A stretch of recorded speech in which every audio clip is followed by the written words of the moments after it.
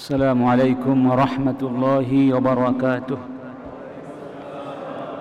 الحمد لله رب العالمين والعاقبة للمتقين والصلاة والسلام على سيد المرسلين نبينا محمد وعلى آله وصحبه أجمعين. أما بعد فأعوذ بالله من الشيطان الرجيم. بسم الله الرحمن الرحيم. قل إن كنتم تحبون الله فاتبعوني يحببكم الله. ويغفر لكم ذنوبكم والله غفور رحيم صدق الله العظيم উপস্থিত সম্মানিত শ্রদ্ধেয় মুসলিমুন মিনুন ভাই বন্ধুগণ প্রথমেই মহান সুবাহানাহু ও তালা মহান স্রষ্টা আল্লাহ সুবাহানাহু ও তালার শুক্রিয়া আদায় করছি যে মহান রব্বুল আলমিন আমাদেরকে সৃষ্টি করেছেন, আমাদেরকে সুস্বাস্থ্য দান করেছেন, আমাদেরকে শ্রেষ্ঠ নিয়মাত, নিয়মাতুল হুদা, নিয়মাতুল ইসলাম দান করেছেন। আমাদেরকে সৈয়দুল মুরসালিন, খতামুন নবীন, হাবিবু রব্বিল আলমিন মোহাম্মদুন সাল্লাল্লাহু আলাইহি ওয়াসাল্লামের উম্মত বানিয়েছেন। সেই স্রষ্টার সমীপে শুক্রিয়া আদায় করে একসাথে আমরা সবাই বলছি, আলহামদুলিল্লাহ। বিশ্বে চলমান সাম্প্রতিক ঘটনাগুলো আপনাদের সকলের কাছেই সুবিদিত। আজকের পৃথিবীতে এই মুহূর্তে যেই ঘটনা গোটা বিশ্বের বিবেকগুলোকে ধাক্কা মেরেছে, সেটি হচ্ছে ফ্রান্স কর্তৃক বিশ্বনবীকে ব্যঙ্গ করার হৃদয় বিদারক ঘটনা, যেটিকে একেবারে অতি সহজে বলা যায় বিশ্বের যে কোনো মানদণ্ডে এটি একটি অসভ্যপনা এবং চূড়ান্ত বেয়াদবি, মানবাধিকার লঙ্ঘন এবং মহাবিশ্বের মহান স্রষ্টা আল্লাহ সুবাহানাহু ওয়া পরে যার স্থান, সেই মহান নবীকে নিয়ে এই জাতীয় ব্যঙ্গ ইতিহাসে খুব কমই হয়েছে। রাষ্ট্রীয় তত্ত্বাবধানে, রাষ্ট্রীয় ভাবে এই জাতীয় ব্যঙ্গ ইতিপূর্বে আমরা কোনোদিন এভাবে দেখেছি? আধুনিক পৃথিবীতে যে সভ্যতার দাবি করা হয়, যে মানবাধিকারের দাবি করা হয়, সেই সমস্ত সভ্যতা আর মানবাধিকার কতটা অন্তঃসার শূন্য সেটি আজকে ফ্রান্সের এই অধ্যত্বের মাধ্যমে নতুন করে প্রমাণিত হয়েছে এবং সমগ্র পৃথিবীর মুসলিম উম্মা একসাথে এই অন্যায়ের অপকর্মের অধ্যত্বের দাঁত ভাঙ্গা জবাব দিচ্ছেন, প্রতিবাদ করছেন। তো আমরা সর্বভাবে, সর্বক্ষেত্রে, সর্বস্তরে এই প্রতিবাদগুলোর সাথে একমত পোষণ করছি। সাথে সাথে আমরা মনে করছি যে প্রতিবাদের যত ভাষা হতে পারে, এই সব ব্যঙ্গকারীদের বিরুদ্ধে সেই সমস্ত ভাষার মধ্যে একটি ভাষা হচ্ছে মোহাম্মদ রসুল্লাহ সাল্লাহ আলহি ওসাল্লাম যে চিরসুন্দর জীবন আদর্শ আমাদেরকে শিখিয়ে গেছেন, তিনি যে জীবনধারা আমাদেরকে দিয়ে গেছেন, সেই জীবনধারাকে নিষ্ঠার সাথে আন্তরিকভাবে জীবনের সব ক্ষেত্রে আঁকড়ে ধরা এবং এর মাধ্যমে রাসুলের মহত্বতা শ্রেষ্ঠত্বতা, তার মাধুর্য, তার যে নৈতিক অনুপম আদর্শ বিশ্বের কাছে তা তুলে ধরা। এই জন্য আমরা আজকে যে বিষয়টি আলোচনা করব, সেই বিষয়টি হচ্ছে আমাদের পূর্বের আলোচনা ধারাবাহিকতা। আমরা আলোচনা করছিলাম, আমাদের জীবন থেকে রাসুলের যে সমস্ত সুন্নাত হারিয়ে যাচ্ছে, এই সুন্নাত বা বিলুপ্ত করা এই সুন্না আমলগুলো নিয়ে আমরা আলোচনা করছিলাম। কারণ ওরা যখন দেখে যে আমরা রাসুলের সুন্নাতগুলো ছেড়ে দিচ্ছি বা দিয়েছি রাসুলের সুন্না ছেড়ে দিয়ে আমরা ওদের কালচার ওদের আদর্শ, ওদের সভ্যতা, ওদের সংস্কৃতি নিয়ে নিজেদেরকে গৌরবান্বিত বোধ করছি এবং ওদের কোলে যেন মাথা রেখে ঘুমিয়ে পড়েছি। তখন তো ওরা আমাদের নবীকে নিয়ে ব্যঙ্গ করবে। কারণ ওরা হয়তো ভেবেছে আমরা নবীকে ভুলে গেছি। নবীকে আমরা ভালো? বাসি না। অতএব নবীর প্রতি যদি সত্যি সত্যি আমাদের ভালোবাসার প্রমাণ দিতে হয়, তাহলে তার আচরণগুলোকে, আমলগুলোকে কাজে বাস্তবায়ন করে দেখিয়ে দেওয়ার এটাই মনে হয় সবচেয়ে উত্তম আমরা দাবি তুলেছি ফ্রান্সের সমস্ত উৎপাদন, উৎপন্ন বা প্রোডাক্টস এগুলো বয়কট করতে হবে। ভালো কথা। কিন্তু আপনি, আমি শুধু পণ্য বয়কট করলাম, কিন্তু ওদের আফকারগুলোকে, চিন্তাগুলোকে বয়কট করলাম না। তাহলে পণ্য বয়কট করে কোনো লাভ হবে? পণ্য বয়কট করার আগে বয়কট করতে হবে ওদের ওদের অসভ্যপনাকে, ওদের ভোগবাদী দর্শনকে, ওদের বস্তুবাদী নীতি নৈতিকতা বিরোধী, ইসলাম বিরোধী সমস্ত জীবনাচারকে বর্জন করতে হবে। আর সেটা বর্জন করতে হলে অবশ্যই আমাদেরকে বিশ্বনবীর জীবন আচারকে গ্রহণ করতে হবে। এই বিকল্প গ্রহণ করে ওটাকে বর্জন করা কি হয়ে যাবে? সহজ হয়ে যাবে। এই লক্ষ্য সামনে রেখে ইনশাআল্লাহ আমরা আজকে তৃতীয় পর্ব আলোচনা করব, বিলুপ্ত প্রায় সুন্নাত আমল সমূহ।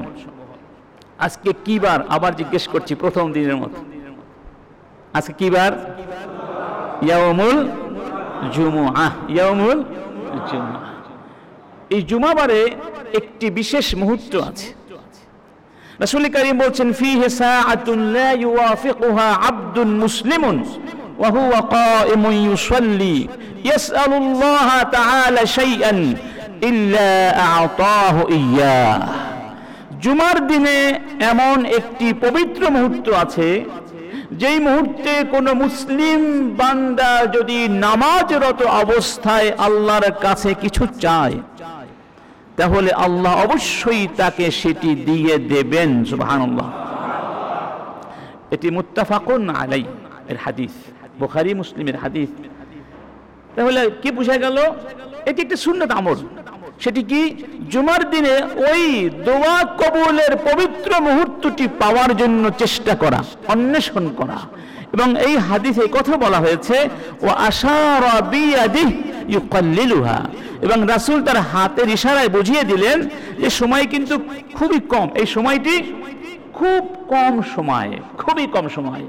তাহলে একজন ইমানদারের উচিত যেদিন যেই মুহূর্ত থেকে জুমাবারের সূচনা হবে, অর্থাৎ সূর্যোদয়ের পর থেকে বৃহস্পতিবার সূর্যোদয়ের সরি সূর্য ডোবার পর থেকেই জুমাবার শুরু হয়ে যায়। সেখান থেকে শুরু করে জুমার দিনের সূর্য অস্তমিত হওয়া পর্যন্ত। কথা বুঝতে পেরেছি? তাহলে বৃহস্পতিবার সূর্য অস্তমিত হওয়ার পর থেকে জুমাবার সূর্য অস্ত যাওয়া পর্যন্ত এটাকে বলা হয় ইয়ামুল জুমা। এই সময়ের মধ্যে আল্লাহ পাক অবশ্যই একটা মুহূর্ত রেখেছেন। সেই মুহূর্তটি যদি আপনি আমি পেয়ে যাই এবং আমাদের দোয়াটা কবর হয়ে যায় ওই একটা দোয়াই তো যথেষ্ট হয়ে যেতে পারে, মুক্তির জন্য হতে পারে না। কিন্তু আমরা কি সেভাবে কোনোদিন খুঁজেছি যে এই মুহূর্তটি আমার পেতেই হবে? এখন কখন সেই মুহূর্তটি আসে তা কিন্তু স্পষ্ট করে অকাট্যভাবে বলা দুষ্কর। এই জন্য মোমেনের উচিত জুমাবার জুমাবারের পুরো চব্বিশ ঘন্টাকে কি করা? কাজে লাগানোর চেষ্টা করা। ইনশাল্লাহ আমরা চেষ্টা করব। আলহামদুলিল্লাহ। এটি একটি আমল যেটা বিলুপ্ত হওয়ার পথে। এরপরে যেহেতু আমরা অনেক আমল করি, আমাদের জীবনে অনেক ক্ষেত্র আছে, বিভাগ আছে, আমল আছে বিভিন্ন ক্ষেত্র থেকে, বিভিন্ন আমল থেকে আমরা সুন্নাগুলো উদাহরণস্বরূপ উল্লেখ করছি, যেগুলো চলে যাচ্ছে আমাদের জীবন থেকে। এরকম সিয়াম বা রোজার সাথে সম্পৃক্ত কিছু আমল আছে, যেগুলো অনেক ক্ষেত্রেই আমরা ভুলে যেতে বসেছি। আল্লাহর কিছু নগণ্য মানে সংখ্যায় খুব কম, এরকম স্বল্প সংখ্যক কিছু বান্দা ছাড়া বাকিরা গুরুত্বই দিচ্ছে না। এগুলো ভুলেই গেছি আসলে আমরা ভুলে গিয়েছি। যেমন ধরুন যে প্রত্যেক মাসে প্রত্যেক মাসে কি করা? তেরো, চোদ্দ, পনেরো। এই তিন দিন সিয়াম পালন করা। মাস বলতে আরবি মাস বোঝানো হয়েছে। যেটা কি বলা হয়? যে দিনগুলোকে বলা হয় আইয়ামুল আইয়ামুল বিয়ুত আইয়ামুল বিয়ুত মানে বেজুর দিন। তাহলে যে কোনো চন্দ্র মাসের তেরো, চোদ্দ, পনেরো। এই তিন দিন রাসূল রোজা পালন করতেন। এটি রাসূলের সুন্নাত। আমরা কি ইনশাল্লাহ চেষ্টা করতে পারব? রাসূল নিজেই বলছেন, সুম আশ-শাহরা আও সুম মিন আশ-শাহরি আইয়াম তোমরা প্রত্যেক মাসে তিন দিন রোজা রাখো। ফাইনাল হাসানাতা বিআশরি আমসালিহা। কারণ একটা নেকির কাজ করলে বিনিময়ে কয়টি আল্লাহ পাক দান করবেন? একটি নেকি দশটি নেকির সমান করে দেয়া হয়। অতএব যদি কোনো ব্যক্তি প্রত্যেক মাসে তিনটা করে সিয়াম পালন করে, তাহলে এক মাস সিয়াম পালন করল। আর এক মাস করে যদি এরকম ধরা হয়, তাহলে বারো মাসে কি হয়ে গেল আপনার? সিয়ামের মধ্যে যেন চলে গেল, সুবহানাল্লাহ। তার মানে হচ্ছে প্রত্যেক মাসে তিনটি করে সিয়াম পালন করার অর্থ হচ্ছে আপনি যেন বারো মাস মানে এক বছরই সিয়াম পালন করেছেন, সুবহানাল্লাহ। সেই তিনটা দিন কি তেরো, চোদ্দ?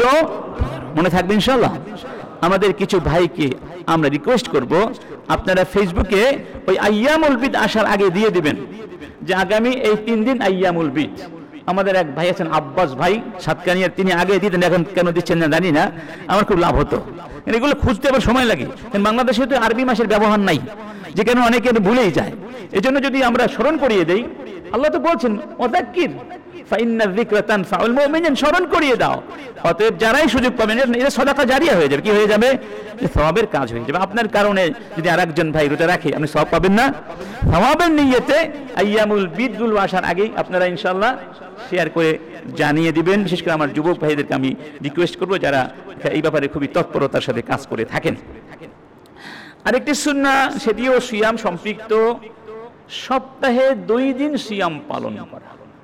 সোমবার এবং বৃহস্পতিবার। রাসুলকে প্রশ্ন করা হয়েছিল, রাসুল, আপনি এই দুই দিন কেন সিয়াম পালন করেন? রাসুল করিম জবাব দিয়েছিলেন তুরাদু ফীহিমাল আ'মালু আলা রাব্বিল আলামিন।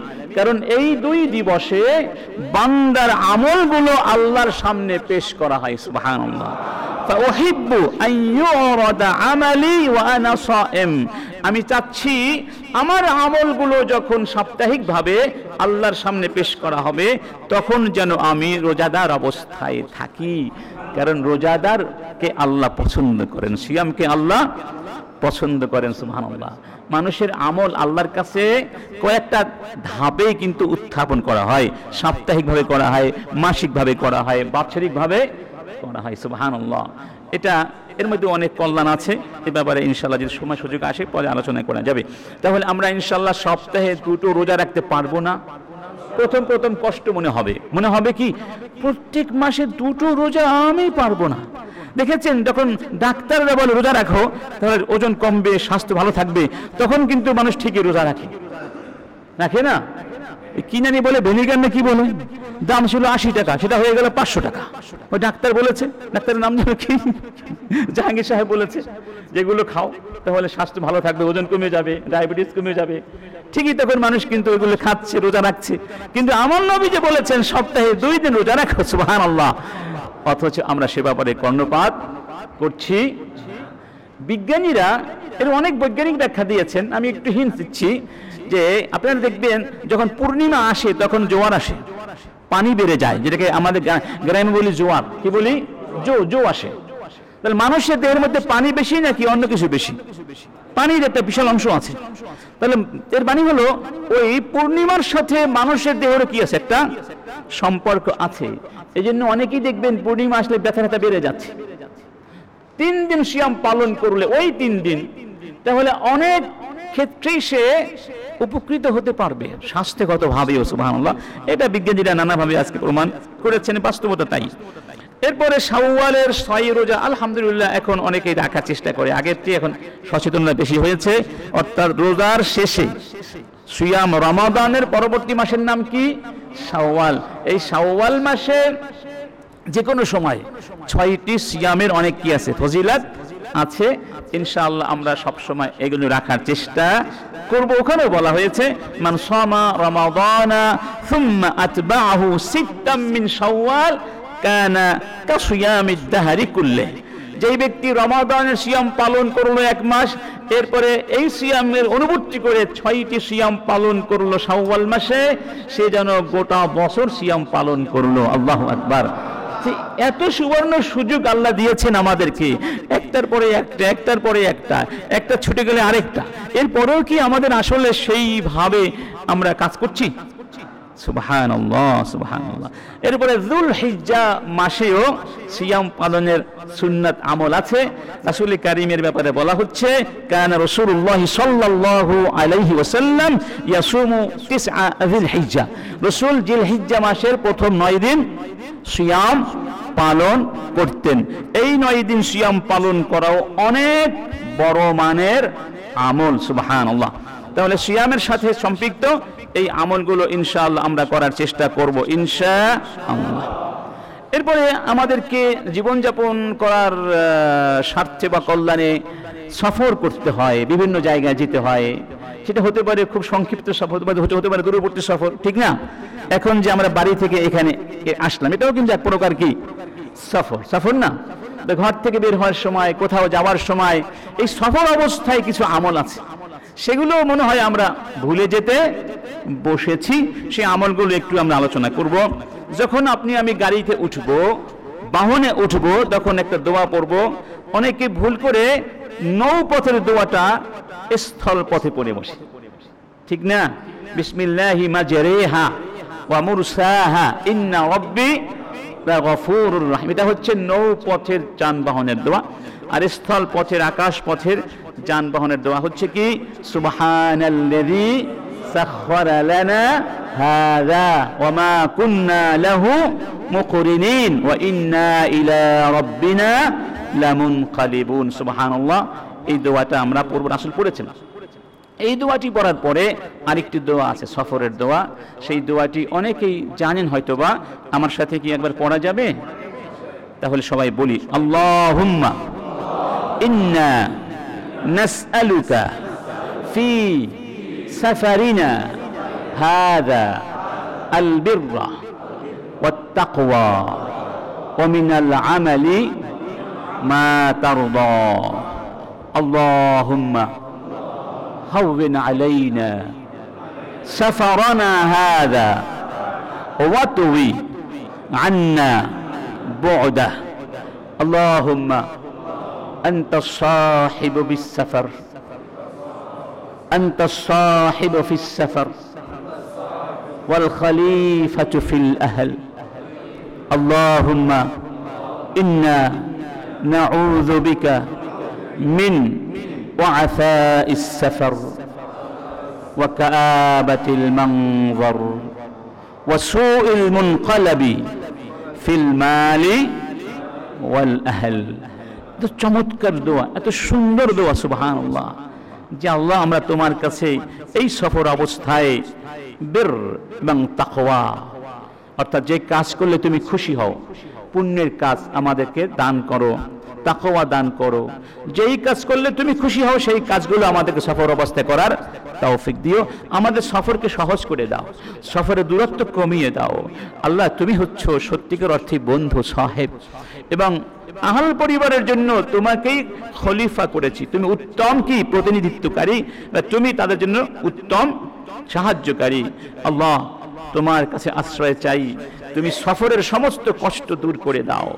এই সফরে যেন এমন কিছু না দেখি, যেগুলো আমাদের জন্য ক্ষতিকারক। আমার দৃষ্টিকে হেফাজত করা তৌফিক দিয়ে দাও এবং সমস্ত বালা মুসিবত থেকে আমাদেরকে, আমাদের পরিবারগুলোকে ধন সম্পদকে হেফাজত করো, সুবহানাল্লাহ। এর চেয়ে সুন্দর কথা হতে পারে। কত সুন্দর দোয়া না? এই দোয়াটি করলে তো আপনার সফর সুন্দর হবে। আপনার মনে কোনো টেনশন কাজ? করবে না, কারণ আপনি খলিফা বানিয়েছেন কাকে? আল্লাহকে আপনার পরিবারের জন্য সাহায্যকারী বানিয়ে।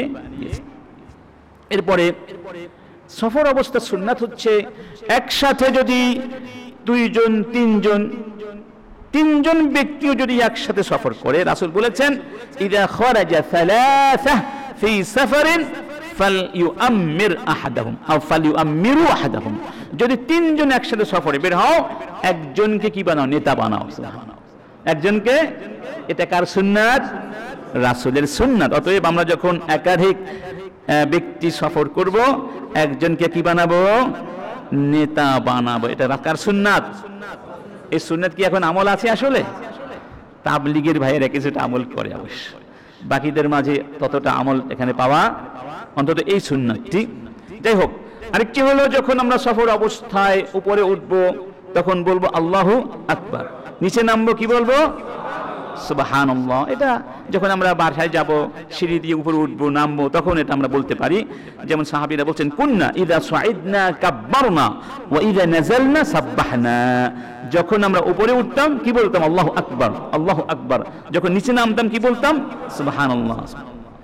আরেকটি হচ্ছে, যখন আমরা কোথাও যাব, সফরে কোনো জায়গায় গিয়ে পৌঁছাবো, নির্দিষ্ট লক্ষ্যে গিয়ে পৌঁছাবো, তখন একটা দোয়া আছে। এই দোয়াটি পড়াও সুন্নাত আমল। ওই দোয়াটি পড়ার মধ্যে কি ফজিলত? রাসুল বলেছেন, মান নাজালা মানজিলান সুম্মা ক্বাল। কেউ যদি কোনো জায়গায় যায় এবং সেখানে গিয়ে বলে, সবাই বলি, বিসমিল আউযু বিকালিমাতিল্লাহি আত্তাম্মাতি মিন শাররি মা খালাকা। ছোট্ট দোয়া রাসূল বলেছেন, লাম ইয়াদুররাহু শাইউন হাত্তা ইয়ারতাহিলা মিন মানজিলিহি যালিক। যতক্ষণ পর্যন্ত ওই জায়গায় সে থাকবে, ওই জায়গায় সে লিভ করবে না, ততক্ষণ কেউ কোনো বস্তু তার কোনো ক্ষতি করতে পারবে। সুবহানাল্লাহ। ছোট্ট দোয়া। আউযু বিকালিমাতিল্লাহি তাম্মাতি মিন। এই দোয়াটি কিন্তু আমরা আগে উল্লেখ করেছিলাম, সকাল এবং বিকেলের অজিফার মধ্যে এটি দোয়াটিও আছে, তিনবার করে পড়া উচিত, এটি সকাল বিকেলের একটা আমল। তারপরে আপনার রাসূল করিম যখন সফর থেকে ফিরে বাড়িতে আসতেন, এসেই সরাসরি ঘরে ঢুকতেন না। প্রথমে কোথায় যেতেন? মসজিদে। গিয়ে নামাজ পড়তেন, তারপরে ঘরে যেতেন। كان النبي صلى الله عليه وسلم إذا قدم من سفر بدأ بالمسجد فصلى فيه. এতে কি হচ্ছে? আপনাকে যে মহান আল্লাহ সহি সালামতে ফিরিয়ে এনেছেন, সেই আল্লাহর শুক্রিয়া আদায় হয়ে গেল। একই সাথে আপনি ঘরে যাওয়ার আগে সংবাদ পৌঁছে গেছে। আপনি চলে এসেছেন, ঘরের মানুষগুলো মোটামুটি কি প্রস্তুত হয়ে যাবে? বিশেষ করে স্বামী আসলে স্ত্রীর একটা প্রস্তুতি ব্যাপার আছে আছে না? সবাই কিন্তু চায় একটা সুন্দর অবয়ব দেখতে পছন্দ করে। এটা যেন তারা কমপ্লিট করতে পারে। আপনি যেন ঘরের মধ্যে ঢুকে আনন্দ পান, মনে শান্তি পান। একটা প্রস্তুতির ব্যাপার আছে। সবকিছু মিলিয়ে এটি হচ্ছে রাসূলের সুন্নাত সুবহানাল্লাহ। রাসূল এই দোয়াটিও পড়তেন, সফর থেকে ফিরে এসে কি করতেন? আয়েবুনা তায়েবুনা আবিদুনা লিরাব্বিনা হামিদুন, সুবহানাল্লাহ। আমরা ফিরে এসেছি, আমরা তাওবাকারী আমরা আল্লাহর দিকে ফিরে এসেছি, আমরা তাওবাকারী আমরা আল্লাহর আবেদন ইবাদতকারী এবং আল্লাহ পাকের প্রশংসাকারী আমাদের রবের প্রশংসাকারী এরপরে যেই ব্যক্তি সফরে যাচ্ছে, সেই ব্যক্তিকে যারা মুকিম, তারা কি বলবে? তা বিদায় বিদায়ের ব্যাপার আছে না আপনি চলে যাচ্ছেন আমি হলাম মুকিম আপনি মুসাফির মুকিম মুসাফিরকে বলবে এই দোয়াটি বলবে আস্তাউদিউল্লাহ دينك وأمانتك وخواتيم عملك আরো বলবে জাওয়াদাক আল্লাহু তাকওয়া আল্লাহ তোমার তাকওয়া বাড়িয়ে দিন ওয়া গফারা যামবাক তোমার গুনাহগুলো মাফ করে দিন। তুমি যেখানেই থাকো, আল্লাহ যেন তোমার জন্য কল্যাণকে সহজ করে দেন। আর যেই ব্যক্তি মুসাফির সেও দোয়া করবে। বিদায় বেলা কি বলবে?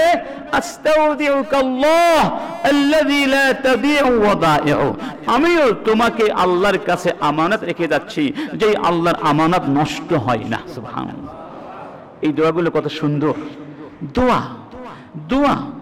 জিকির সুহান আল্লাহ ভালোবাসা, আল্লাহর সাথে বান্দার সার্বক্ষণিক সম্পর্ক সৃষ্টি হয়ে যায় এবং মানুষের সাথে মানুষের সুসম্পর্ক তৈরি হয়ে যায়। শয়তানের আধিপত্য থেকে মানুষ মুক্তি পেয়ে যায়।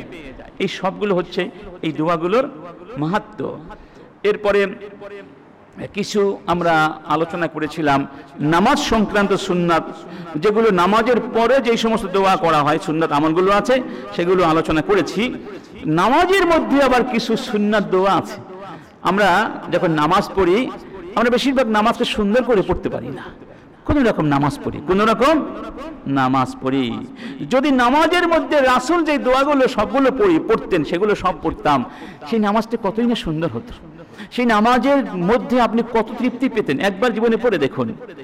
এবং এগুলো অথচ অনেক দোয়া করতেন আমরা মিনিমাম এই দোয়াগুলো করতে পারি যেমন ধরুন যখন তাকবীরে তাহারিমের পরে আমরা কি করি সানা সানার পরে একটা সুন্দর দোয়া রাসূল পড়তেন দোয়াটি সবাই পড়ি আল্লাহুম্মা বাঈদ বাইনি ওয়া বাইনা খাতায়ায়া কামা বাআদতা বাইনাল মাশরিকি ওয়াল মাগরিবি আল্লাহুম্মা নাক্কিনি من خطاياي كما ينقى الثوب الابيض من الدنس اللهم اغسلني من خطاياي بالثلج والماء والبرد বড় মনে হয় কঠিন মনে হয় আপনি তো কত কাজই পারেন দুনিয়ার সবকিছু তো আমরা পারি এই দোয়াগুলো শিখতে এত কষ্ট হবে কেন?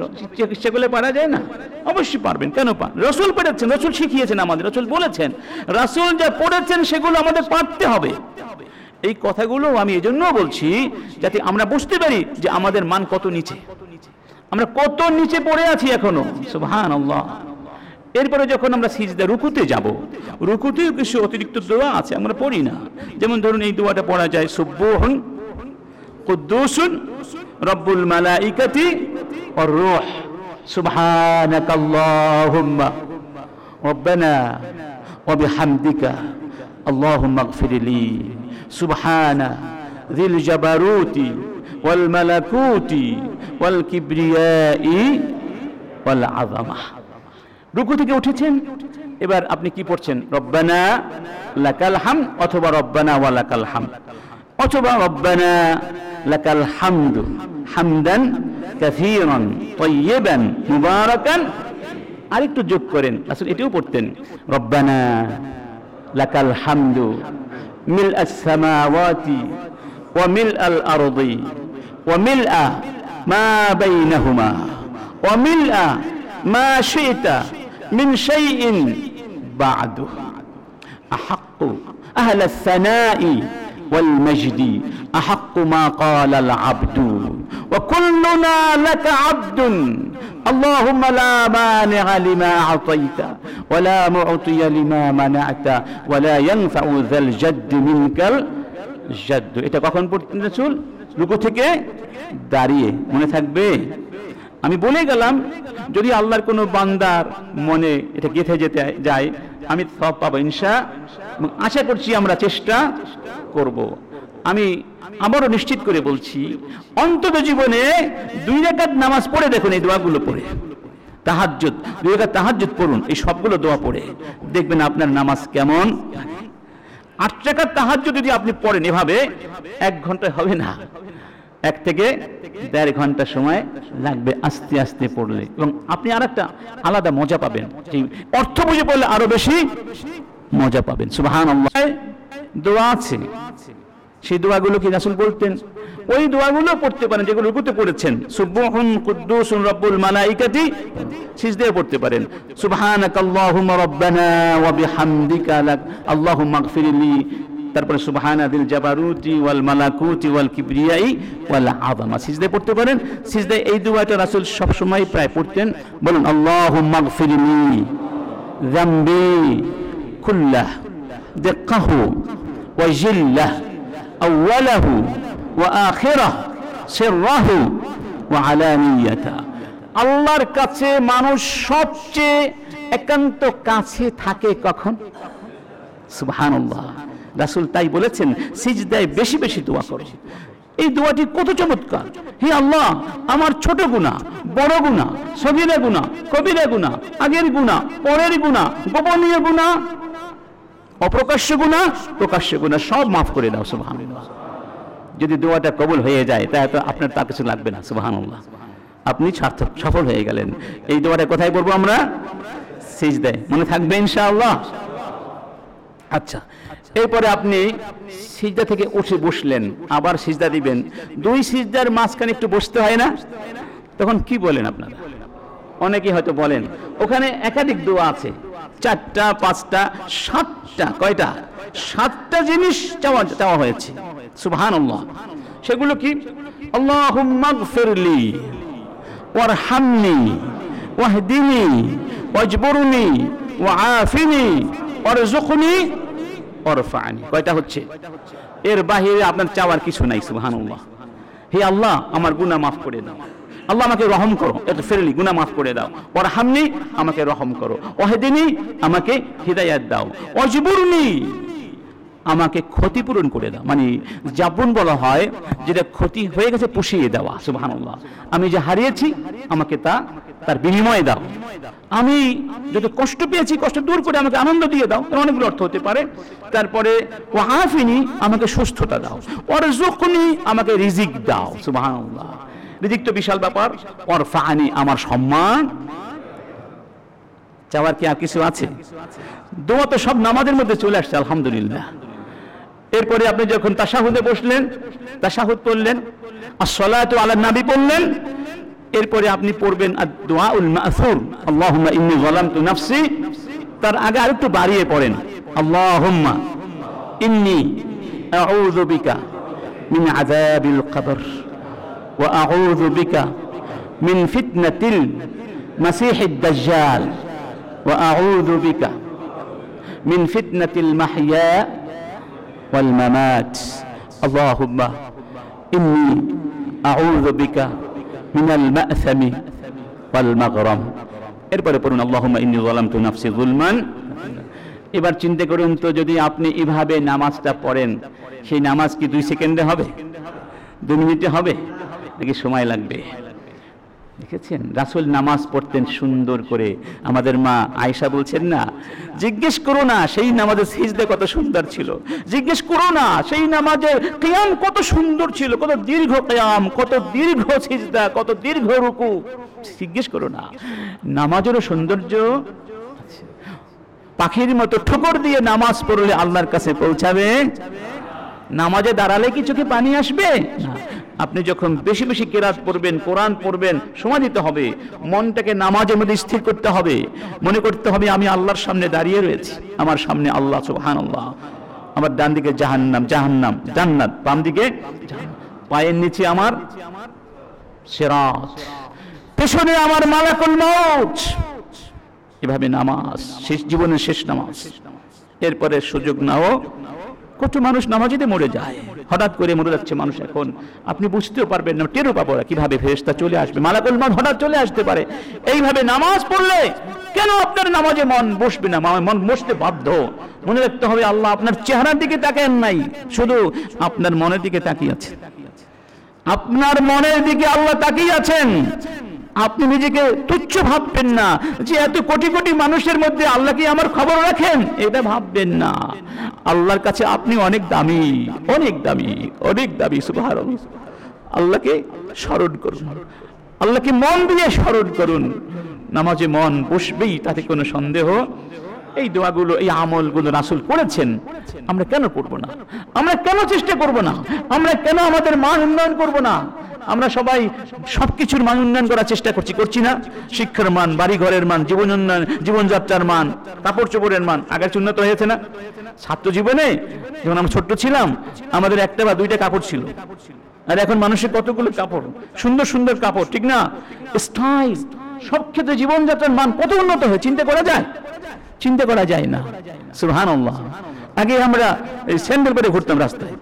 এখন তো সবাই স্যান্ডেল করে রাস্তায় ঘুরে না। মানে মানে অনেক উন্নত হয়েছে মানুষের জীবনযাত্রা গ্রামে এখন আপনি কিনে ঘর পাবেন না। বেশিরভাগ পাবেন কি? বিল্ডিং হয়ে যাচ্ছে। একেবারে গরিব মানুষ এখন আগের যুগে ধনীদের চেয়ে ভালো পোশাক পরে। কারণ কি? এখন জীবনযাত্রা মান মানুষ উন্নত করেছে। কিন্তু এই বস্তুগত জীবনকে উন্নত করলে কি হবে? আধ্যাত্মিক জীবনকে একেবারে ধ্বংসের শেষ প্রান্তে নামিয়ে সেই জায়গা থেকে উপরে আসতে হবে। ভেতর জগৎটাকে বাহিরের আগে উন্নত হবে। নইলে ওই বাহিরের উন্নতি দিয়ে পরকালে কোনো কাজ হবে ও, লেবাসের কথা বললাম, লেবাসের সামনে চলে এসেছে। লেবাস মানে কি? পোশাক। লেবাস মানে কি? এই পোশাকেরও কিছু সুন্নত আমল আছে সেগুলো আমরা ভুলে গিয়েছি, বিলুপ্তি প্রায় হয়ে গেছে। যখন আমরা পোশাক পরবো, আমরা তো দিনের মধ্যে কতবার পোশাক খুলি, কতবার পোশাক পরি। কিন্তু পোশাক পরার সময় যে রাসুল সুন্নাত কিছু আমল করতেন, সেগুলো আমরা বেমালুম ভুলে যাই। রাসূল দোয়া পড়তেন। কি করতেন যখনই পোশাক পরতেন, আল্লাহ থাউবা যেই মহান আল্লাহ এই পোশাকটা আমাকে পরিয়েছেন। সব প্রশংসাকার ওয়া রাযাকানিহি আমাকে এই পোশাক রিজিক দিয়েছেন, সুবহানাল্লাহ। মিন গায়রি হাউলিন মিন্নি ওয়ালা কুওয়া। আমার কোনো শক্তি ছিল না, আমার কোনো ক্ষমতা ছিল না। যদি আল্লাহ আমাকে দান না করতেন তাহলে সপ্রশংসাকার রাসূল বলেছেন, মান লাবিসা সাউবান যে ব্যক্তি পোশাক পরবে, ফাকালা, এরপরে দোয়াটি পড়বে, গুফিরা লাহু মা তাকাদ্দামা মিন যামবে তার আগের সব গুনাহ মাফ হয়ে যাবে, সুবহানাল্লাহ। সগীরা গুনাহগুলো মাফ। আর কবিরা গুনার জন্য তওবা করতে হবে। কি করতে হবে? তওবা করতে হবে। এটা একটি দোয়া। আর এটা হচ্ছে স্বাভাবিক যখন পোশাক আদি পরবো, পুরান পোশাক, কিন্তু যখন আপনি নতুন পোশাক পরবেন ইনটেক্ট নতুন পোশাক পরছেন তখন আরেকটি দোয়া আছে। কাছাকাছি রাসূল কারীম বলতেন আমরা বলি, আল্লাহুম্মা লাকাল হামদু। অর্থ, আল্লাহ সব প্রশংসা তোমার।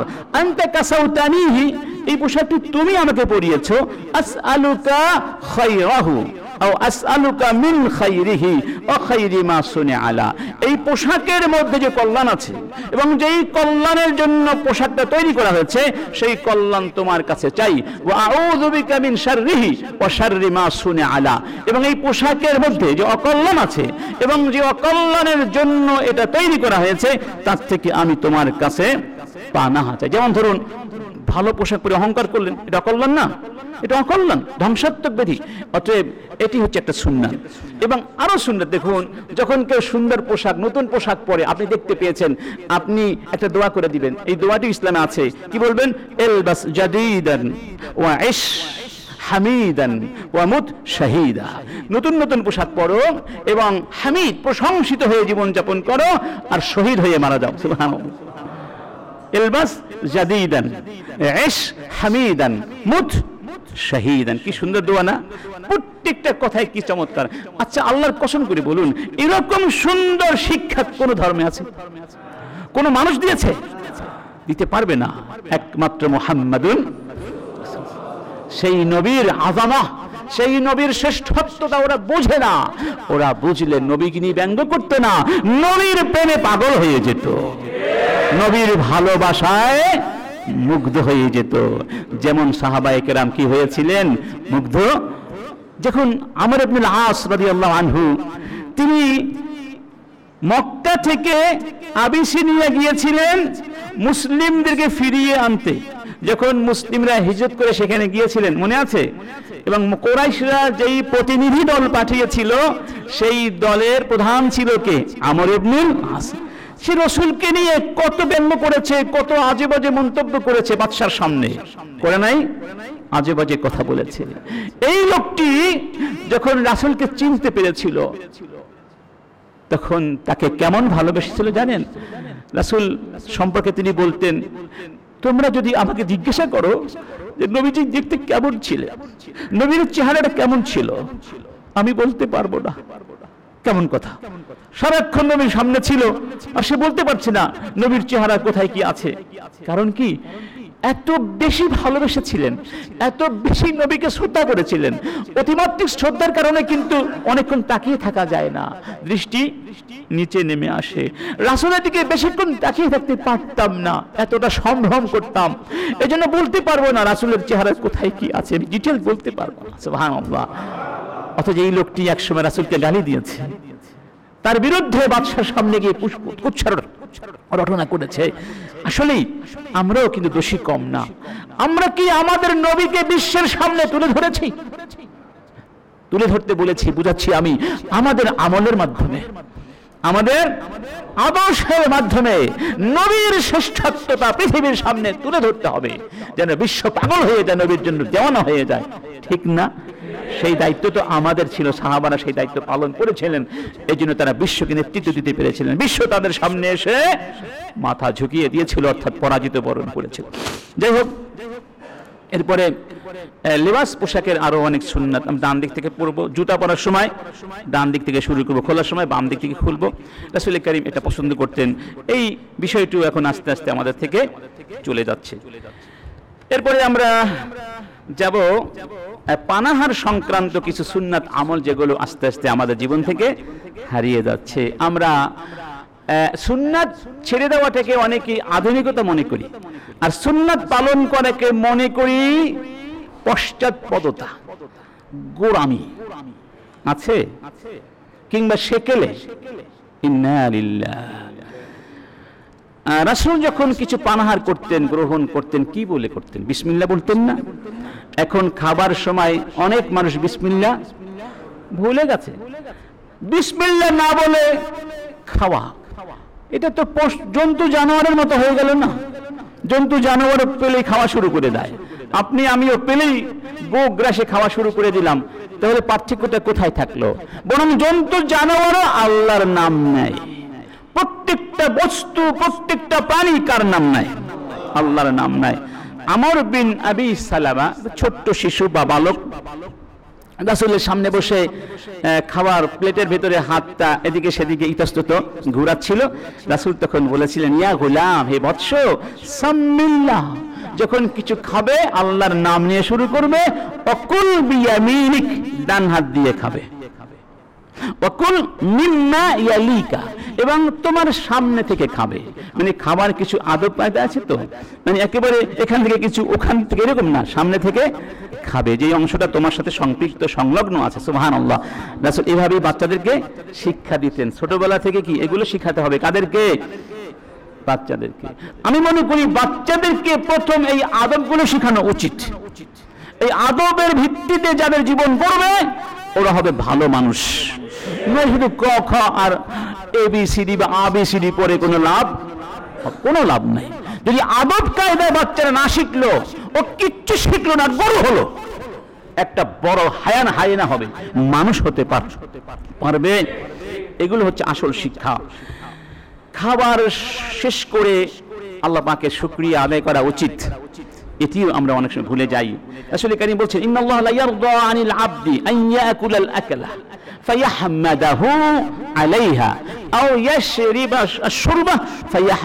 আলাইহা কেউ যদি কিছু খেয়ে আল্লাহ পাকের শুক্রিয়া করে কিংবা কিছু পান করে আল্লাহ পাকে শুক্রিয়া আদায় করে, আল্লাহ পাক সেটি খুব পছন্দ করেন, সুবহানাল্লাহ।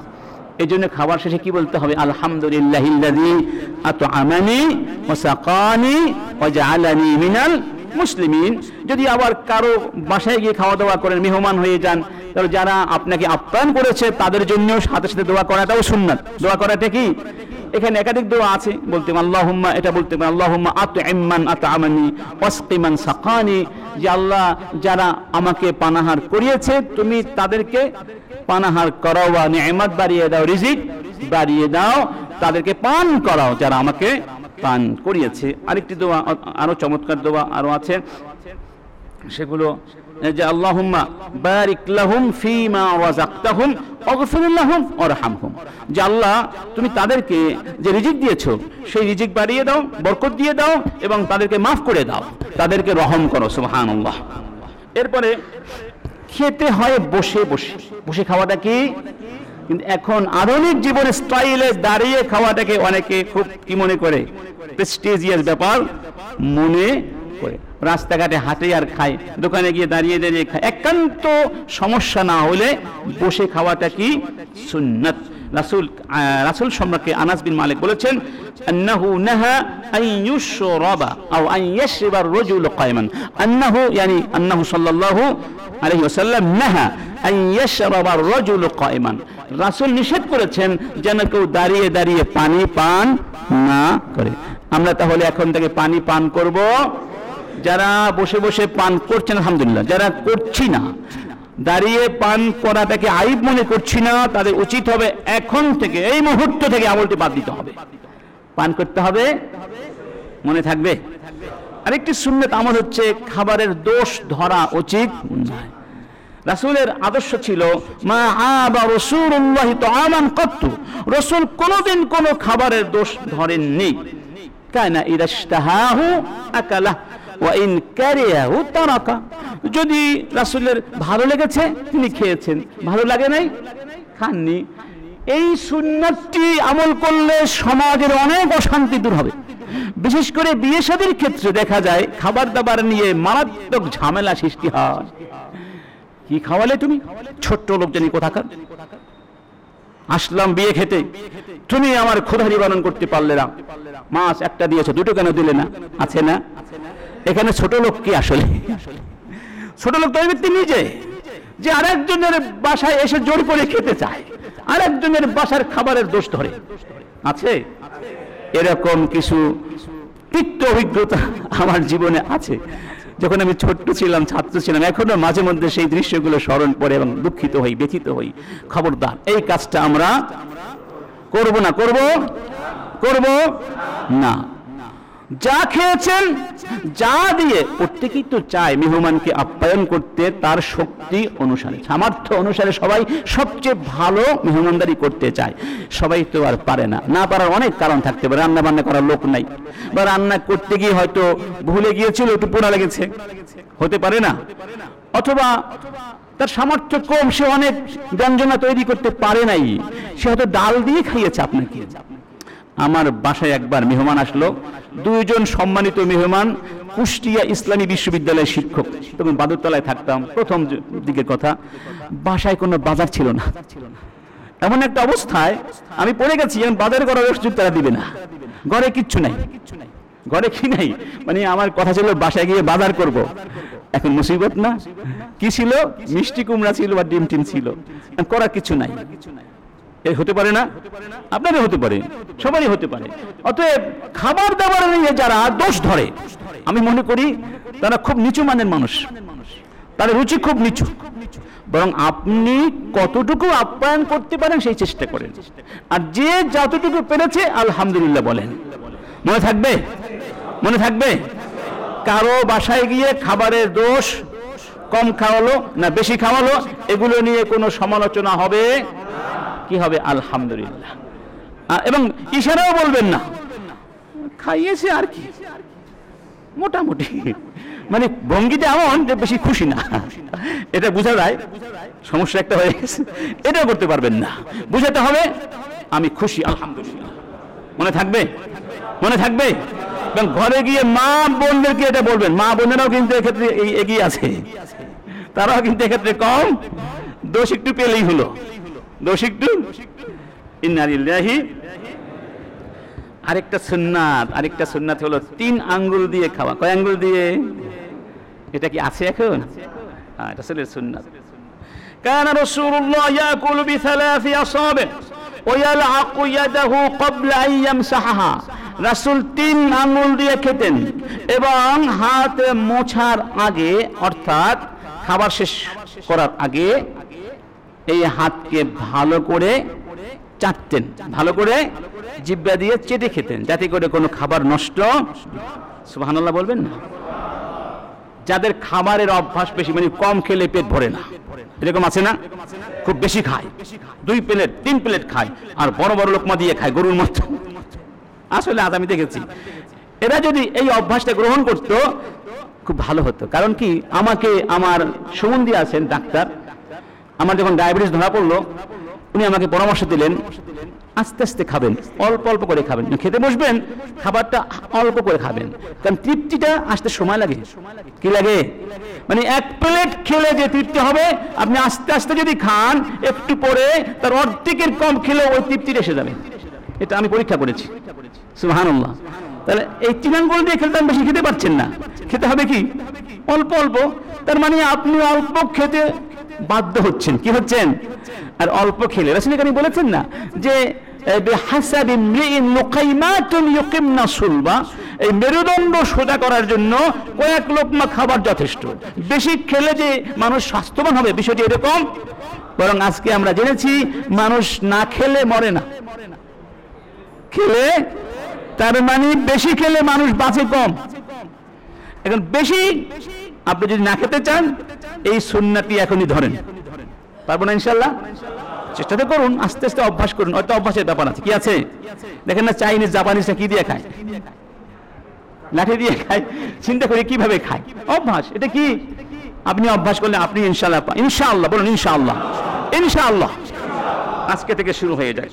এরপরে অন্য হাদিসে বলা হচ্ছে, ইদা আকালা আহাদুকুম ফালা ইয়ামসা ইয়াদাহু হাত্তা ইয়ালাকাহা যে তোমরা খাবার শেষ করে যখন হাত মুছবে বা ধুয়ে ফেলবে, এর আগে আঙ্গুলগুলো ভালো করে চেটে চেটে খেয়ে ফেলবে, সুবহানাল্লাহ। এটাকেও অনেকে মনে করে ছোট লোক। কি মনে করে? ভাত অর্ধেক প্লেটে রেখে দিয়েছে। প্লেটটা দেখলে ঘৃণা লাগে। লাগে না? কিন্তু যে লোকটি প্লেটটা শূন্য করে খেয়ে ফেলল, প্লেটের কথাও আছে। সামনে আসতেছে। রাসূল কারীম বলছেন যে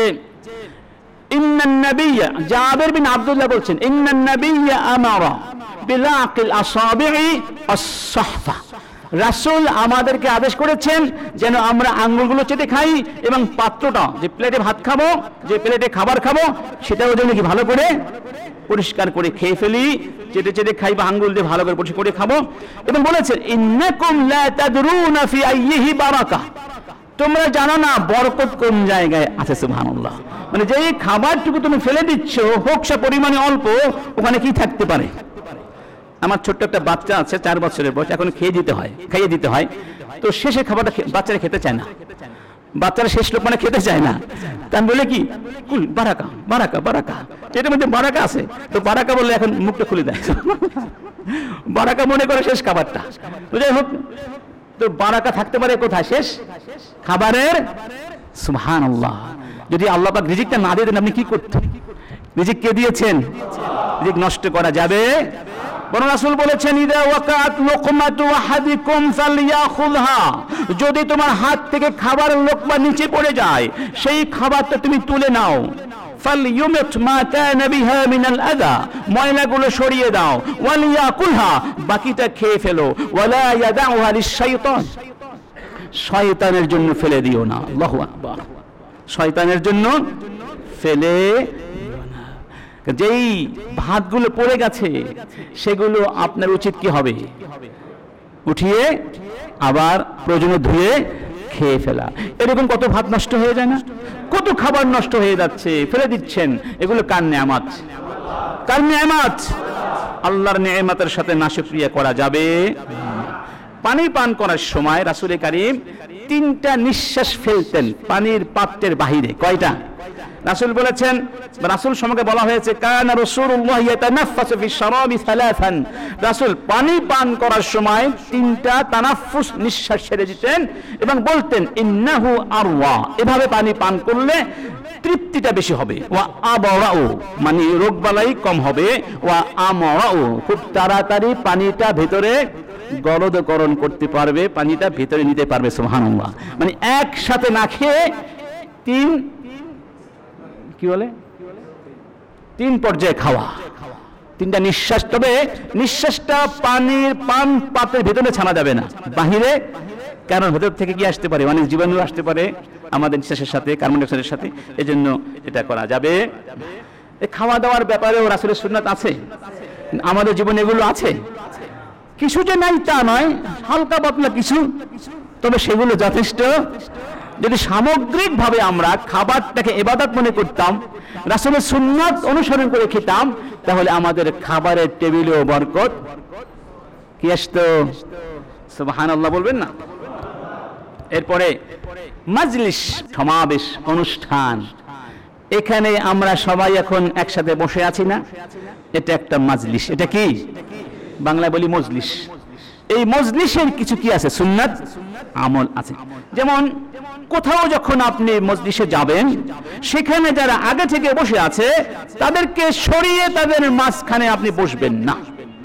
রাসূল করিম বলছেন, লা ইয়াহিল্লু লিরাজুলিন আন বাইনা ইল্লা বিইذনিহিমা দুইজন ব্যক্তিকে সরিয়ে দিয়ে তাদের মাঝখানে বসা জায়েজ নাই কারোর জন্য, তাদের অনুমতি ছাড়া। বুঝতে পেরেছি? অনেকে জুমার নামাজে দেরি করে আসে।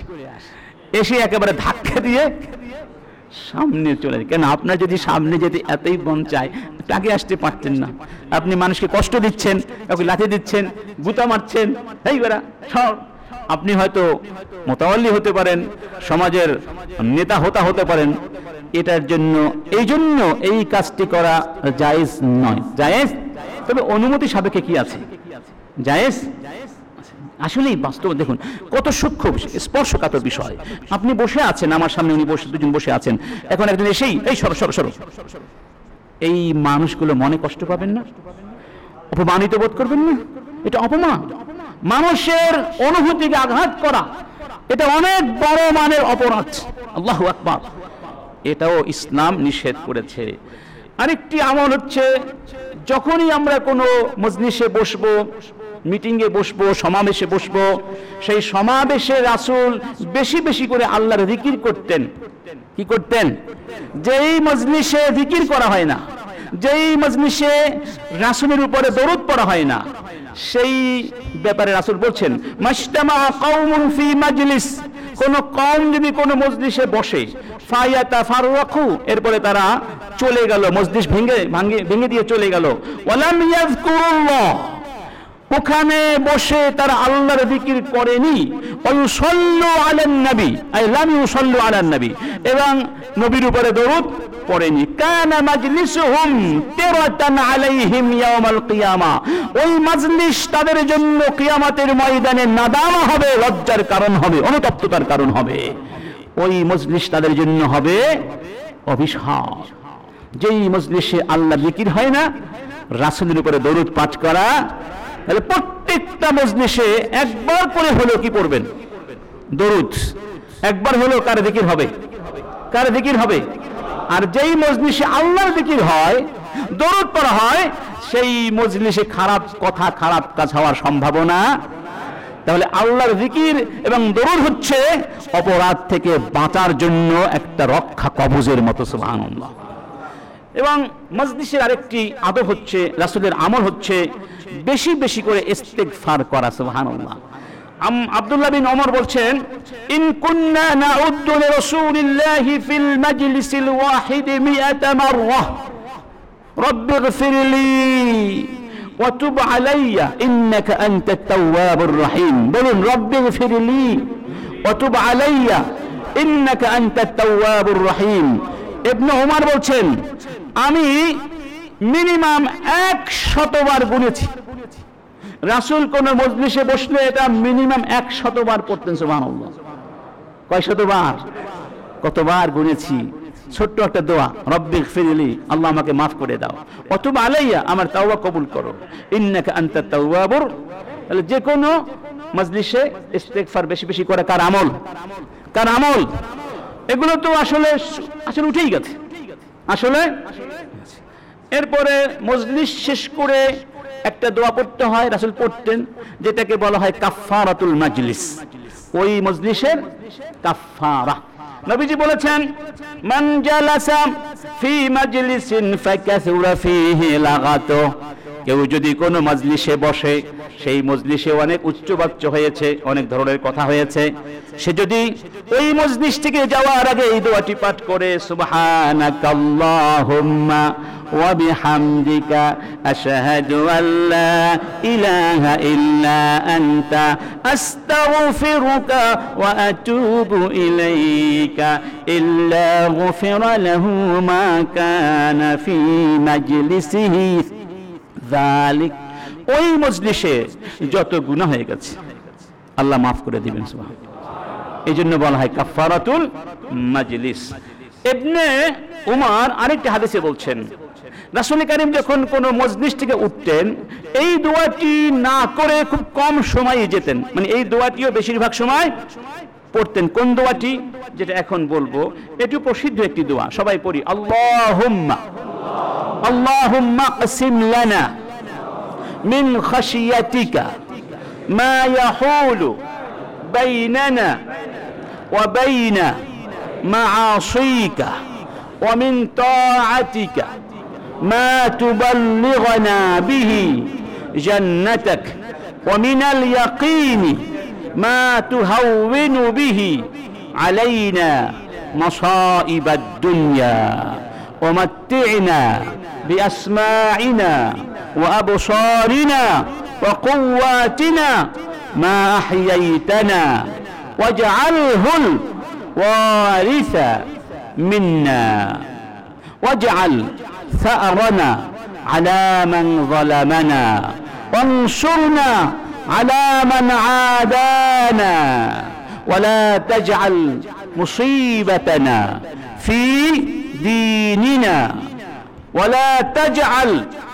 الدنيا أكبر همنا ولا مبلغ علمنا ولا تسلط علينا من لا يخافك ওয়ালা ইয়ারহাম এত চমৎকার দোয়া অর্থগুলো বুঝলে আমরা এই দোয়াগুলোর জন্য আসলে পাগল হয়ে যেতাম সুবহানাল্লাহ রাসূল বলছেন যে আল্লাহ তুমি আমাদেরকে তোমার খাসিয়া তোমার ভয় দাও সুবহানাল্লাহ আমাদের মনে তোমার ভয় সঞ্চার করে দাও। যেই ভয়ের কারণ, যেই ভয় তোমার নাফরমানি এবং আমাদের মধ্যে প্রাচীর তৈরি করে দিবে, সুবহানাল্লাহ। আমাদেরকে তোমার আনুগত্য ইবাদত করার তৌফিক দাও যে আনুগত্য দিয়ে তুমি আমাদেরকে জান্নাতে পৌঁছিয়ে দিবে। আমাদের ইয়াকিন, বিশ্বাসকে বাড়িয়ে দাও। যে ইয়াকিন দিয়ে দুনিয়ার মুসিবতগুলোকে আমাদের জন্য সহজ করে দেবে। যতদিন তুমি বাঁচিয়ে রাখবে, দুই চোখ, শ্রবণ শক্তি এবং যে শক্তি আমাদের দেহে আছে, এই নিয়মাতগুলো যেন আমরা ব্যবহার করতে পারি, এই নিয়মাতগুলো উপভোগ করার শক্তি দাও। এবং যারা আমাদেরকে জুলুম করেছে, তুমি তাদের থেকে প্রতিশোধ নাও। এবং যারা আমাদের সঙ্গে শত্রুতা করছে, তুমি তাদের বিরুদ্ধে আমাদেরকে সাহায্য করো। তুমি দিনের, আমাদের দিন ধর্মের মধ্যে মুসিবত দিও না। এবং দুনিয়াকে আমাদের সামনে, আমাদের জন্য সবচেয়ে বড় গুরুত্বের বিষয় বানিও না। দুনিয়াই যেন আমাদের সবকিছু না হয় আমাদের উপরে এমন লোকদেরকে চাপিয়ে দিও না যারা তোমাকে ভয় করে না, আমাদেরকে রহম করে না। এমন লোকদেরকে আমাদের উপরে চাপিয়ে চমৎকার কথা না? সবকিছু আছে এখানে? সবকিছু আছে? আমার টাকা আছে, পয়সা আছে, সব আছে। কিন্তু দুর্বল হয়ে গেছেন, অসুস্থ হয়ে গেছেন, তখন দুনিয়াটা সুন্দর লাগবে না সুন্দর লাগবে? কি দোয়া যে আল্লাহ, যতদিন বাঁচিয়ে রাখবে, সুস্থ রেখো। যেন চোখ দিয়ে দেখি, কান দিয়ে শুনি, পা দিয়ে হাঁটতে পারি, হাত দিয়ে ধরতে পারি, কারও যেন মুখাপেক্ষী না হতে সুহান কি চমৎকার দোয়া। এই দোয়াটিও রাসুল পড়তেন, মসজিদ থেকে ওঠার সময়, বেশিরভাগ সময় পড়তেন। এরপরে অসুস্থ কাউকে যখন দেখতে যাবেন, মারিদ সেখানেও কিছু সুন্নাত আমল আছে। রাসুল অসুস্থ লোকের পাশে গিয়ে আদর করে তার গায়ে হাত বুলিয়ে দিতেন সুহান এই দোয়াগুলো পড়তেন, লা বাসা তহরুন আল্লাহ। আবার কখনো বলতেন আল্লাহ রাব্বান নাস আযহিবিল বাস ওয়াশফি ওয়াশফি শাফি, লা শিফা ইল্লা শিফাউকা, শিফাআন লা ইউগাদিরু সাকামা। কত চমৎকার কথা। হে আল্লাহ, তুমি সমস্ত মানুষের রব, তুমি এই লোকটিকে শেফা দিয়ে দাও। কারণ তোমার শেফা ছাড়া কোনো শেফা নাই। এমন শেফা দিয়ে দাও যে এই শেফার পরে কোনো রোগ তার থাকবে না, সুবহানাল্লাহ। আল্লাহ আকবার। আমার বন্ধুগণ, আবার কখনো দোয়া শিখিয়ে দিতেন। এক ব্যক্তি, তার নাম ছিল ওসমান বিন আল আস এসে বললেন, ইয়া রসুল্লাহ যেদিন থেকে মুসলিম হয়েছে, সেদিন থেকেই আমার দেহের মধ্যে একটা ব্যথা অনুভব করছি। একটা ব্যথা দীর্ঘদিন থেকে আমি অনুভব করছি। রাসুল করিম বললেন তোমার দেহের যেই জায়গায় ব্যথা করছে, ওখানে হাতটা রাখো এবং বলো এটা একটা দোয়া। এই দোয়ার বাস্তব ফল পাওয়া গেছে সুবাহান দোয়াটা কি? ওখানে হাত রাখবেন। কি বলবেন? তিনবার বিসমিল্লাহ। বলুন, বিসমিল্লাহ। বিসমিল্লাহ বিসমিল্লাহ। ধরুন পেটে ব্যথা, এখানে রেখে কি বলবেন? তিনবার বিসমিল্লাহ। এরপর সাতবার বলবেন এই দোয়াটা। আউযু বিল্লাহি ওয়া কুদরাতিহি মিন শাররি মা আজিদু ওয়া উহাদির। আউযু বিল্লাহি ওয়া কুদরাতিহি মিন মা আজিদু কয়বার? যদি পূর্ণ ইয়াকিন নিয়ে বলতে পারেন, আর আল্লাহ যদি কবুল করে নিতে পারেন আপনার রোগটা ওখানে ভালো হয়ে এটা পরীক্ষিত। এখন নাস্তিকরা বলবে, তাহলে আর চিকিৎসা বিজ্ঞানের দরকার? নাস্তিকরা আছে, এগুলো বলে তো। আমি সাইডে পড়লাম যে এই সমস্ত কথা লিখছে, তাহলে সমস্ত হাসপাতাল বন্ধ করে দেওয়া হোক। চিকিৎসা বিজ্ঞান সব বন্ধ করে দেওয়া হোক মেডিকেল কলেজগুলো বন্ধ করে দেওয়া আসলে যারা চিকিৎসা করছেন ডাক্তার, তারা কি গ্যারান্টি দিতে পারেন যে ঔষধগুলো খেলে ভালো হয়ে যাবেন ওই চিকিৎসা বিজ্ঞানও গ্যারান্টি দিতে পারে না, কারণ ভালো করার মালিককে ঔষধের মধ্যে যে তাফির রয়েছে, যে প্রতিক্রিয়া রয়েছে, এটা কার দান? আবার দোয়াটা করছেন কার কাছে? এখন আপনার দোয়াটা আপনি কতটুকু ইমান দিয়ে করছেন, ইয়াকিন দিয়ে করছেন আল্লাহ কাছে কবুল হয়েছে কিন্তু একটা বিষয় আছে। অথবা এটাও হতে পারে যে দোয়া কবুল হয়ে যাবে, হওয়ার সম্ভাবনা একশো ভাগ, ইনশা তবে সব সময় আল্লাহ পাক সরাসরি যা চান তা দেন না। অন্য কিছু দিয়ে দেন সুবাহান যেটা আপনার বেশি দরকার। অথবা দুনিয়ায় কিছুই দিবেন না। দোয়া কিন্তু কবুল হয়ে গেছে। পরকালে আল্লাহ বলবেন, বান্দা, হাদিসে আছে তুমি যে অমুক দিন আমার কাছে চেয়েছিলে, পেয়েছিলে? বান্দা বলবেন না তো আল্লাহ, আমি তো পাইনি। আল্লাহ পাক বলবেন, ফেরেশতাদেরকে যাও। ওই দিন যা চেয়েছিলে, তার বিনিময়ে আজকে দিলাম, সুবহানাল্লাহ। তখন ওই ব্যক্তি বলবে, আল্লাহ, দুনিয়াতে যা কিছু চেয়েছিলাম দুনিয়ার জন্য, যদি কিছুই না দিয়ে আজকে দিতে, তাহলে বেশি লাভ হতো। আর আমরা এখন মনে করি দুনিয়ায় না পেলে বেশি ক্ষতি হয়ে গেছে। দোয়া কিন্তু ব্যর্থ যাবে। যদি মন থেকে বের হয়, দোয়া ব্যর্থ। দোয়া ব্যর্থ। ইনশাআল্লাহ এই দোয়াটা আমরা শিখে নেব ইনশাল্লাহ পারব না। কয়বার বিসমিল্লা কয়বার দোয়াটি? দোয়াটি কি? আউযু বিল্লাহি ওয়া কুদরাতিহি মিন শাররি মা আজিদু ওয়া উহাদির। আমাদের সময় প্রায় শেষ পর্যায়ে। আরেকটি হলো, এটিও সুন্নত আমল আমরা ভুলে গিয়েছি, ওসিয়াত নামা লিখে রাখা। রাসূল বলেছেন, মা হাক্কুম রিইন মুসলিমিন লাহু শাইউন ইউসা ফীহি ইয়াবিতু ফীহি লাইলাতাইন ওয়া ফি রিওয়ায়া সালাস লায়ালিন ইল্লা ওয়াসিয়াতুহু মাকতুবাতুন ইনদাহ। যার কাছে কিছু জিনিস আছে, যেই জিনিসের ব্যাপারে ওসিয়াত করা যায় সে ওই জিনিসটির ব্যাপারে ওসিয়াত না করে দুই রাত কিংবা তিন রাত যাপন করবে, এটা তার জন্য বৈধ নয়। কারণ সে তো জানে না কখন মৃত্যুটা চলে আসবে। এই জন্য ওসিয়াত নামাটা লিখে রাখা মনে থাকবে ইনশাল্লাহ প্রত্যেকেই কম হোক, বেশি হোক, একটা ওসিয়ত নামা লিখে রাখবেন। ইনশাল্লাহ পারবেন না? লিখে রাখবেন। ওখানে আস্তে আস্তে পারবে আস্তে আস্তে কি? পারবে ইনশাআল্লাহ। এরপরে আমরা আমাদের পার্থিব জীবনযাপন করার ক্ষেত্রে পারস্পরিক কর্জের ঋণের আদান প্রদান করতে বাধ্য। মাঝে মধ্যে ঋণ দিতে হয়, ঋণ। এখানে কি রাসুলের সুন্নাত আছে? সেগুলো সমাজে আছে? এখন কেউ কাউকে সহজে ঋণ দিতে চায়, দিবে, সুদে দিবে। এমনিতে দিতে, অথচ ঋণ দেওয়াটা কত নেকির কাজ, কত সওয়াবের কাজ। যে ব্যক্তি সুদবিহীন ঋণ দিল সে যেন কর্জ দিল কাকে? কাকে? বিশাল ব্যাপার। কত বড় নেক আমল, জানেন আপনি? সেগুলো আমরা করছি না। কেন কেন করছি না? কারণ আছে।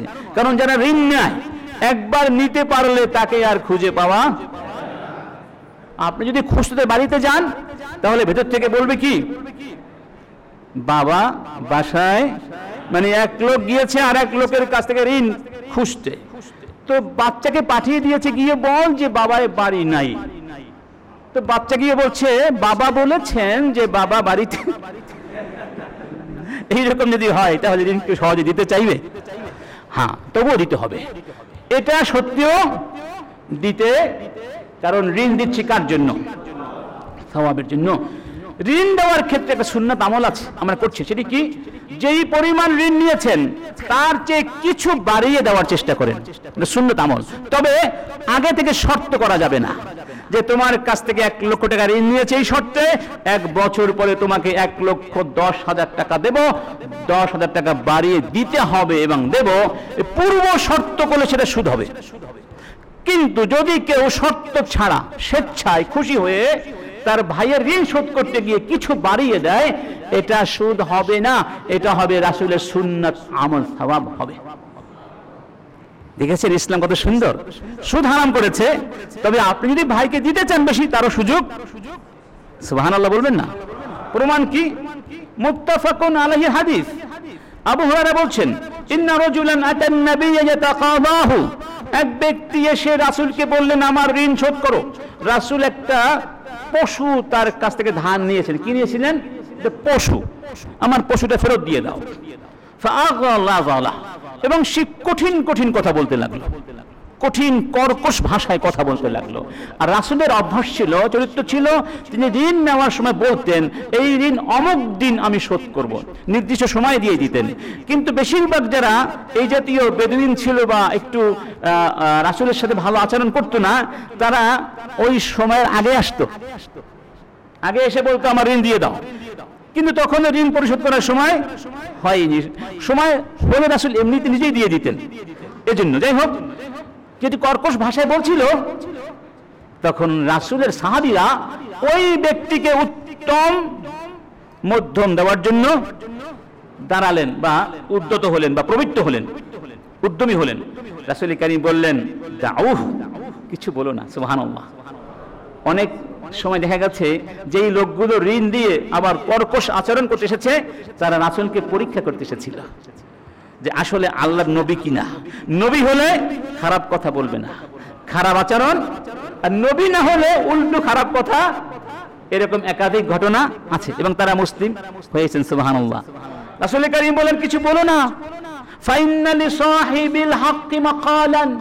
কারণ যে হকদার যার হক আছে তার একটু কথা বলার অধিকারও বেশি থাকে সুবহানাল্লাহ যেহেতু হকটা তার তার অধিকারটা একটু বেশি তোমরা কিছু বলো না ও তো হুসিন্নান মিন সিন্নে যাও দেখো তো এই পশুগুলোর মধ্যে ওই ব্যক্তির পশুর সমবয়সী কোনো পশু আছে কিনা এটা দিয়ে দাও قالوا يا رسول الله لا نجد إلا أمثل من سني ওই ব্যক্তির পশুর যে বয়স ছিল, তার চেয়ে উত্তম পশু আমাদের কাছে আছে।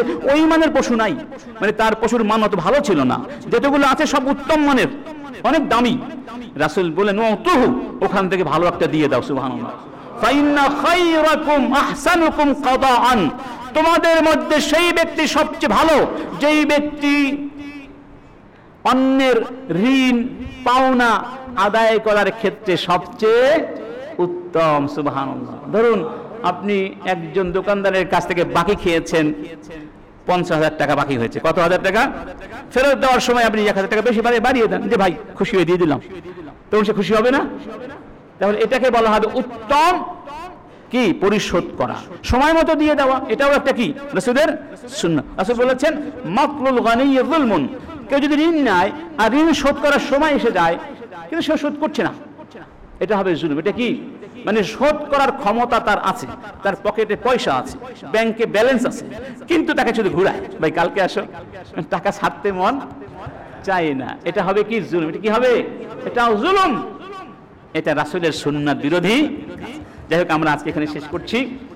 আমার মনে হয় আজকে শেষ করতে চেয়েছিলাম, কিন্তু আরেকটা পর্ব ইনশাল্লাহ এই জিনিসগুলো জানা দরকার আছে না?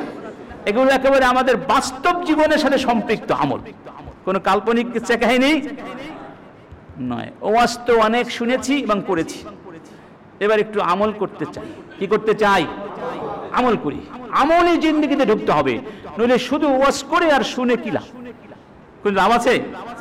লাভ নাই যদি আমল করতে না পারি। আর মুমিনের আমল হবে সবচেয়ে উত্তম। সবচেয়ে কি? মুমিন একটা মুস্তাহাব কেউ ছাড়তে পারে না। কারণ এটা তার কাছে অনেক অনেক আমি যখন ছাত্র ছিলাম, আমার একটা বন্ধু ছিল, সে উদাহরণ দিতে গিয়ে বলেছিল যে, ধরো একটা লোকের টিনের ঘর আছে। এই টিনের মধ্যে কিছু ছোট ছোট ফুটো আছে। কি আছে?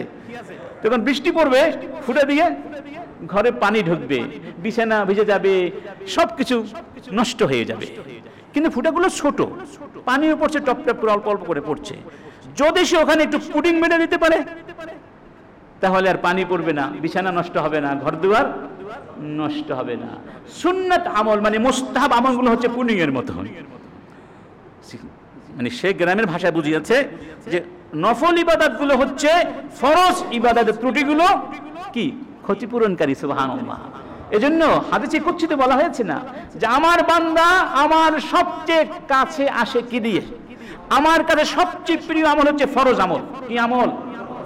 ফরজ আমল করার পাশাপাশি বান্দা যদি নফলগুলো করে, সে আমার কাছে আসতে থাকে আসতে থাকে আসতে থাকে, কাছে আসতে আসতে এমন অবস্থা হয়ে যায় যে আমি আল্লাহ নিজে তাকে ভালোবেসে ফেলি। এত বেশি ভালোবেসে ফেলি, আমি তার চোখ হয়ে যাই, যে চোখ দিয়ে সে, আমি তার কান হয়ে যাই, যে কান দিয়ে সে, আমি তার হাত হয়ে যাই, যে হাত দিয়ে সে, এমনকি আমি তার পা হয়ে যাই, যে পা দিয়ে সে হাঁটে। এই ভালোবাসা কি চান না? তাহলে এই আমলগুলো বাদ দেওয়ার সুযোগ চেষ্টা করেন, জানার চেষ্টা করেন, এগুলো মানার চেষ্টা করেন, শেখেন। যারা এখনও ছোট্ট আছো ছাত্র ভাইয়েরা, তোমরা তো এখনও মেধাবী, এখন তোমাদের ব্রেন ওখানে শার্প আছে। এগুলো মেমোরাইজ করা তোমাদের জন্য অনেক ইজি বা সহজ। যারা মুরব্বী অনেক করাম তারা চেষ্টা করেন, পারবেন, ইনশাআল্লাহ। চেষ্টা করতে পারবেন ইনশাআল্লাহ? আল্লাহ, তুমি আমাদের সবাইকে তাওফিক দাও, আমিন।